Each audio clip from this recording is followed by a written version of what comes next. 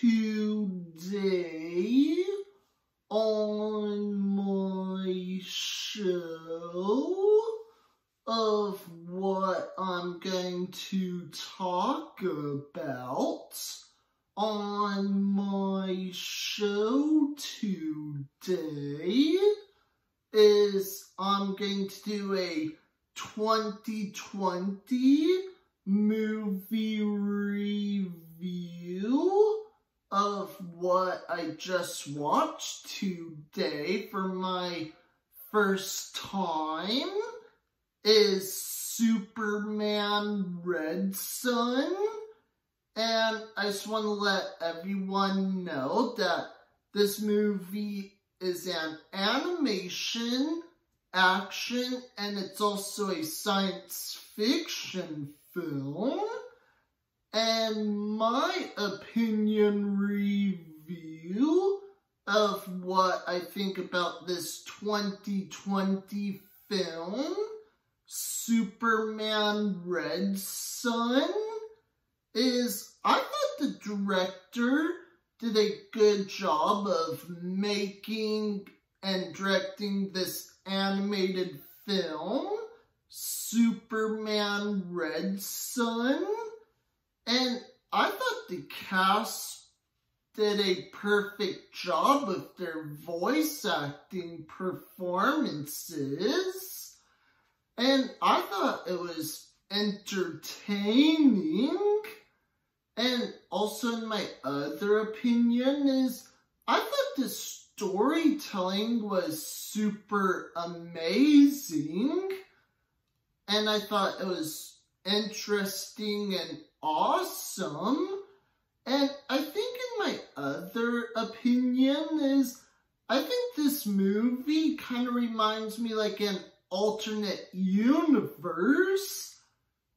Like, kind of like that. And I just want to let everyone know that if anyone already seen this animated film, Superman Red Son, and if you like this animated film and you thought it was really good, I would say that's fine and I respect your opinion. Or some of you like might have watched it on Blu-ray or DVD already. And if, and if you thought it was just an okay, like, animation DC film, or if it wasn't your kind of Superman film at all, or if you didn't like this movie, I would say that's fine. And again, I respect your opinion too. And also my other opinion is I think the animation was great and perfect. And before I go, I just want to make this episode for Superman fans. And also my other opinion is I thought this was not a boring Superman film at all. And for me, I'll probably give it thumbs up. And I just want to let everyone know that if anyone has not ever seen Superman Red Son yet, then I would easily highly recommend it is you should give this animation superhero film a chance. And I do want to let everyone know is I will not spoil it for you if you haven't like check it out yet.